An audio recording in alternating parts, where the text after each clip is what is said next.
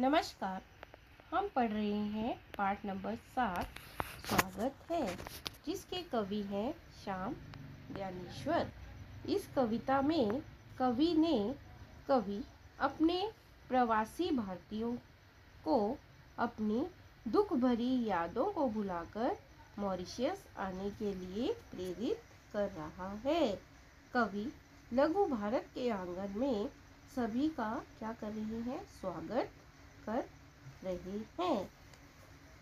अब हम आते हैं पृष्ठ नंबर 36 का पहला परिचय पनिया जहाज़ को कौन चढ़ेगा? अब भैया, बड़ा डर लग रहा है उससे तो। कहीं पुनः पुनः होता है दोबारा। दोहरा ना कर दे इतिहास हमारा। इस, उस धरती पर बिखर ना जाएँ खोजते हुए निज बंधुओं को। खोजते हुए निज बंधुओं को निज होता है अपने, बंधु होता है भाई। आसमान की राह पकड़, आगे चल, मॉरिशियस की भूमि पर उतरेंगे सब, मॉरिशियस वही लघु भारत। नहर हो जैसे वही हमारा नहर होता है मायका बाबुल के लोग वहीं मिलेंगे। बाबुल होता है पिता के। देश परदेश के नाम मिटेंगे। आँसू थामे, वहीं मिलेंगे। स्वागत है। इन पंक्तियों में कवि क्या कहना है कि हमारे सब बांधुओं के मन में पानी में चलने वाले जहाज़ को लेकर डर सा समा गया है कि कहीं वह काल भयंकर इतिहास फिर से दोहराया ना जाए। उनके सामने सवाल है कि पानी में चलने वाले इस जहाज़ पर अब कौन चढ़ेगा? यह जहाज़ दोबारा इतिहास को वापस ना लाए। इस धरती पर फिर से हम बिखर ना जाएँ और ना ही एक बार अपने ही बंधुओं का, को ढूंढते रह जाएँ। अब हम सब आसमान में उड़कर मॉरिशियस की धरती पर उतर जाएँगे। वही हमारा नहर होगा।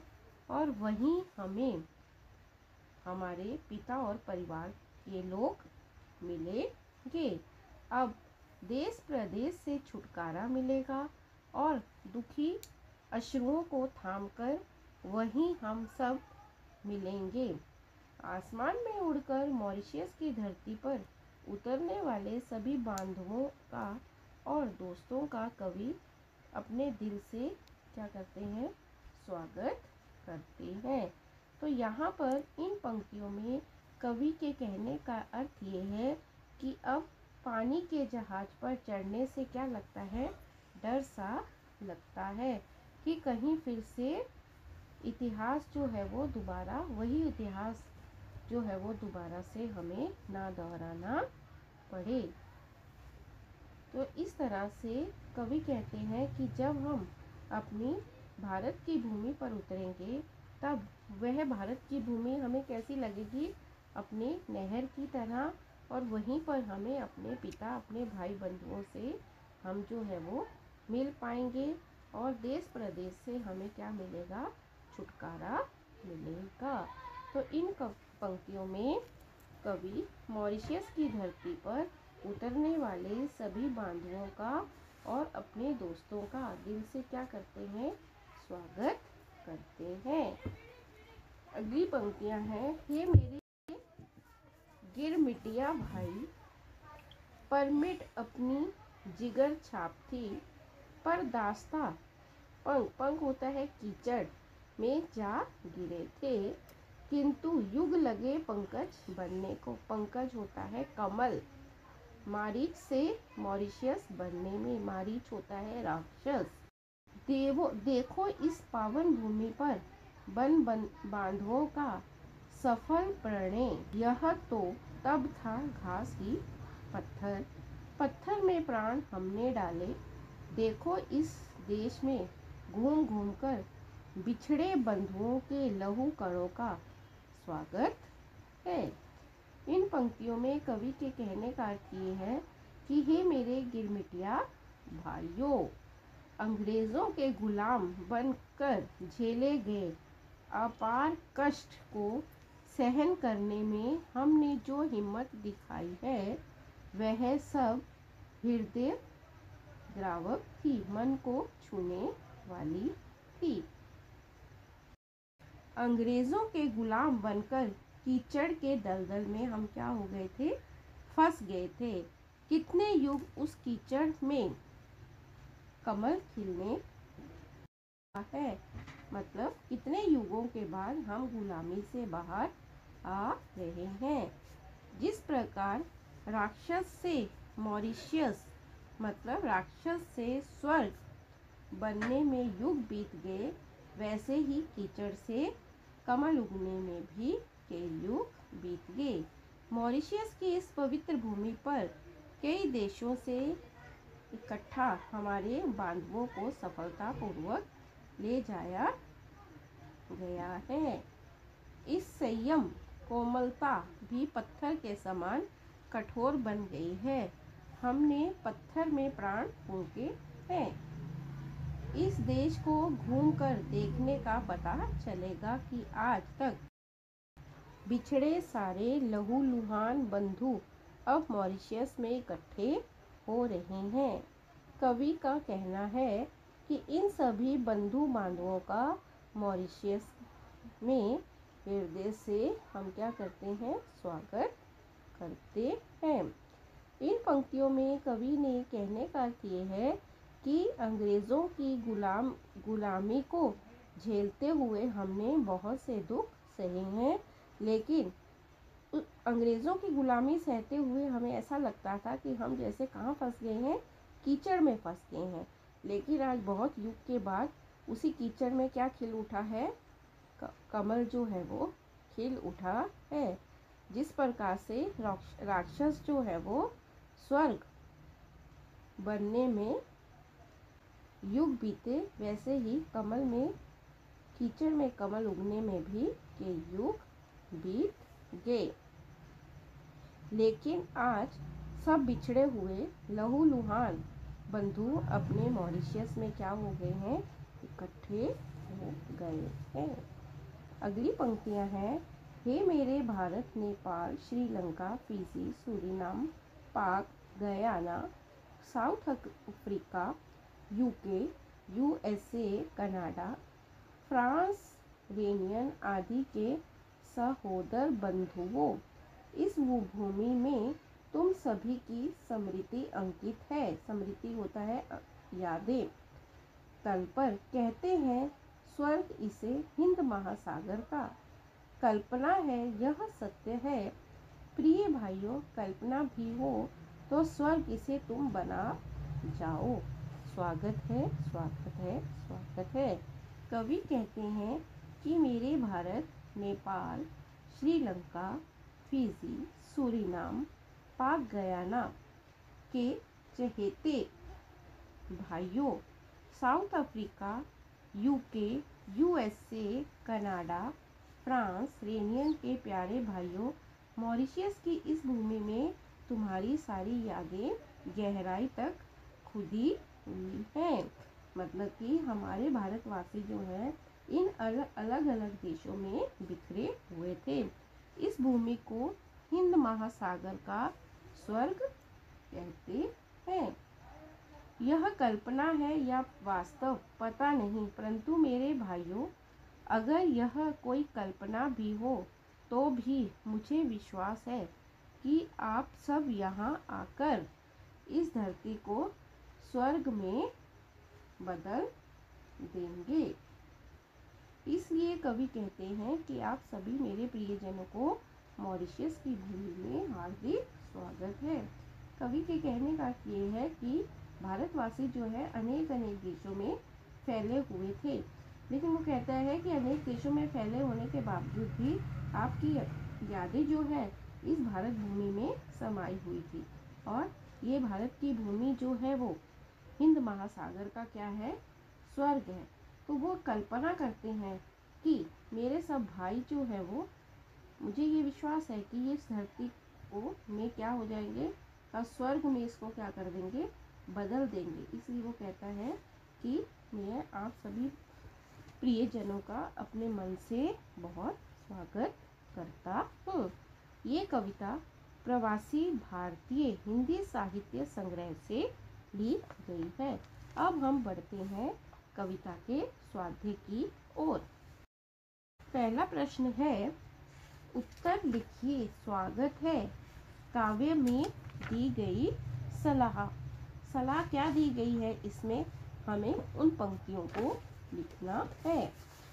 तो यहाँ पर कहा गया है कि युग युगांतरों के बाद, क्या कहा गया है? युग युगांतरों के बाद आज हम मिले हैं, कौन मिले हैं? हम सब भारतवासी। हमारा इतिहास, कष्ट, सब भूलकर हमें इकट्ठा होना है। नहर आकर अपनों को मिलना है। शेष ज़िंदगी सुखपूर्वक बितानी है। इसका दूसरा भाग है, प्रथम स्वागत करते हुए दिलाया विश्वास। सब बिखरे थे आज, सब इकट्ठे हो गए। इस धरती को अब हम क्या करेंगे? स्वर्ग बना देंगे। तीसरा है, ई भाग, मारीच से शब्द बना है। मारीच से शब्द क्या बना है? मॉरिशियस, ये शब्द जो है वो बना है। अगली पंक्तियाँ है, प्रश्न है, काव्य सौंदर्य काव्य सौंदर्य में ये दो पंक्तियाँ दी गई हैं। ये तो तब था, घास ही पत्थर। पत्थर में प्राण हमने डाले। उपयुक्त पंक्तियों का आशय स्पष्ट कीजिए। तो इन पंक्तियों में कहा गया है कि अंग्रेज़ों ने सभी बांधवों को गिर मिट्टिया बनकर क्या कर लिया था? जंजीरों में जकड़कर भिन्न भिन्न देशों में भेज दिया था। मतलब अपना गुलाम बना लिया था अंग्रेज़ों ने, है ना? और जब भारतीय अंग्रेज़ों के गुलाम बन गए थे तो उन्होंने उन्हें क्या किया? अलग अलग देशों में बिखेर दिया अब मॉरिशियस की भूमि में ये सभी बांधव क्या हो गए हैं? इकट्ठे हो गए हैं। उस समय कोमलता भी पत्थर के समान कठोर बन गई थी। इस देश को घूमकर देखने का पता चला तो आज हमने पत्थर में भी क्या डाल दिए? प्राण जो है वो डाल दिए। इसलिए सभी बांधवों को इकट्ठा जो है वो यहाँ किया है। स्वागत है कविता में डर का भाव व्यक्त करने वाली पंक्तियाँ ढूंढकर। अर्थ लिखिए। पानिया जहाज़ जो अभी हमने पढ़ी पहली तीसरे, चौथी पंक्तियाँ जो है कि कवि का कहना था कि पनिया जहाज़ पर कौन चढ़ेगा भैया, बड़ा डर लग रहा है उसमें तो। तो इन पंक्तियों में कवि के कहने का अर्थ ये है कि हम सभी बांधवों को पानी के जहाज़ पर चढ़ने से अब डर लग रहा था। क्यों? क्योंकि डर जो है उन लोगों के मन में समा गया था। और ये डर लग रहा था कि कहीं वे काल भयंकर इतिहास फिर से ना दोहराया जाए, फिर हम कहीं अंग्रेज़ों के गुलाम ना बन जाए। फिर एक बार अंग्रेज़ सभी बांधवों को गुलाम बनाकर अलग अलग देशों में ना भेज दे इसलिए कविता में, इन पंक्तियों में यह बताया गया है कि भारत आने वाले लोग जो हैं वो पनिया जहाज़ पर, पानी के जहाज़ पर चढ़ने से इसीलिए डर रहे थे अगला है आपका अभिव्यक्ति। अभिव्यक्ति मतलब अपने शब्दों में इन प्रश्नों के उत्तर लिखिए, अपने विचारों को व्यक्त कीजिए। विश्व बंधुत्व आज के समय की आवश्यकता है। विश्व बंधुत्व होता है विश्व में भाईचारे की भावना। विश्व में आज हम सब लोगों को मिलजुल कर रहना है। इस तरह के विचार जो है वो आज के समय की बहुत आवश्यक है, क्योंकि आज सभी भारतीयों को मिलजुल कर रहना है, क्योंकि भारत में अलग अलग धर्म और संस्कृतियों के लोग जो है वो पाए जाते हैं। लेकिन आज आवश्यकता है कि हम सबको एक होकर अपने भारत देश की रक्षा करनी है, क्योंकि किसी भी देश की छोटी बड़ी गतिविधियों का प्रभाव आज संसार के सभी देशों पर किसी न किसी रूप में अवश्य पड़ रहा है। इसलिए देश अब यह अनुभव करता है कि हमें मिलजुल कर भाईचारे के साथ अपना काम करना है और विश्व बंधुत्व की भावना को धारण करके हमें अपने देश की रक्षा करनी है। इसलिए आज यह समय की मांग बन गई है कि हर भारतीय में विश्व बंधुत्व की भावना होनी चाहिए। तभी हमारा देश जो है वो सुरक्षित रह पाएगा। अगला प्रश्न है, मातृभूमि की महत्ता को अपने शब्दों में स्पष्ट कीजिए।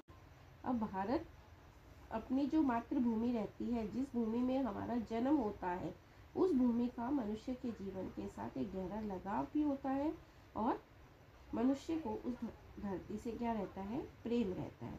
क्यों? क्योंकि उसी धरती की गोद में खेलकर मनुष्य जो है वो क्या होता है? बड़ा होता है और वह धरती जो है वो उसको कैसी लगती है? माँ के समान। इसलिए कहा जाता है कि मातृभूमि से हमें क्या करना चाहिए? प्रेम करना चाहिए। और भारत भूमि तो एक ऐसी भूमि है जिसमें अनेक महान ऋषि मुनियों ने क्या लिया है? जन्म लिया है। इसलिए हमें अपनी मातृभूमि की महत्ता को समझना चाहिए और हमें इसकी रक्षा करनी चाहिए। इसके अतिरिक्त भारत देश जो है वो क्या देश है? कृषि प्रधान देश है। और यहाँ पर हर समय खेतों में फ़सलें जो है वो क्या होती रहती हैं? लहराती रहती हैं। इसलिए हमें अपनी भारत भूमि की महत्ता को समझना चाहिए। रसा स्वादन कीजिए। गिरमिटों की भावना तथा कवि की संवेदना को समझते हुए कविता का रसास्वादन कीजिए। तो कविता का रसास्वादन करते हुए सबसे पहले हम देंगे शीर्षक। शीर्षक में आता है कविता का नाम। तो कविता का क्या नाम है? स्वागत है। फिर रचनाकार, उसको लिखा किसने है? श्याम ज्ञानेश्वर ने। तीसरा पॉइंट जो रहता है, उसमें रहता है कि इसकी कल्पना क्या है? तो इसमें जो है वो क्या कल्पना की गई है कि कवि जो है वो अपने सभी भाई बंधुओं का मॉरिशियस में क्या कर रहे हैं, स्वागत कर रहे हैं, जिन्होंने बहुत वर्ष जो है वो अंग्रेज़ों की गुलामी में काटे थे और आज वो अपने भारत में क्या कर रहे हैं, प्रवेश कर रहे हैं। और तो उसे ऐसा लगता है कि बहुत सालों तक वो जैसे कीचड़ में फंसे हुए थे, लेकिन आज उसी कीचड़ में क्या खिल उठा है फूल खिल उठा है ठीक है? अब इसमें आ जाता है कि इसमें कौन सा रस अलंकार है? तो इसमें जो है कवि प्रवासी साहित्य, ये कविता कैसी है? प्रवासी साहित्य है ना? और इसमें विदेशों में बसे भारतीयों द्वारा रचा साहित्य इस श्रेणी में आता है। अब इस तरह से रसास्वादन जो है वो इस कविता का किया गया है। अगला प्रश्न है आपका। जानकारी दीजिए साहित्य संबंधी सामान्य ज्ञान। अब प्रवासी साहित्य की आप विशेषताएँ क्या बताओगे? जहाँ प्रवासी साहित्य की विशेषताएँ क्या रहती हैं, उसमें हमें अपनी जो हमारी संस्कृति है, उसकी झलक मिलती है है ना? फिर जो हमारे स्थानीय रीति रिवाज रहते हैं, उनकी विशेषता मिलती है। फिर जो हम स्थानीय भाषा का प्रयोग करते हैं, जो उसमें मुहावरे रहते हैं, कहावतें रहती हैं, उनकी जानकारी हमें प्राप्त होती है। अगला है, अन्य प्रवासी साहित्यकारों के नाम।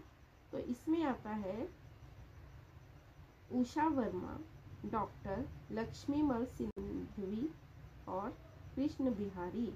ये सब जो है वो अन्य प्रवासी साहित्यकारों में गिने जाते हैं। व्याकरण भाव में अलंकार को हम अगले व्याकरण में पूरा करेंगे। तो यहाँ पर आपकी ये कविता जो है वो समाप्त होती है। धन्यवाद।